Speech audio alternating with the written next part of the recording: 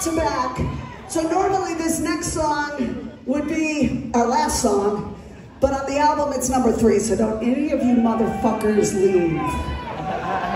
We will lock the doors. One, two,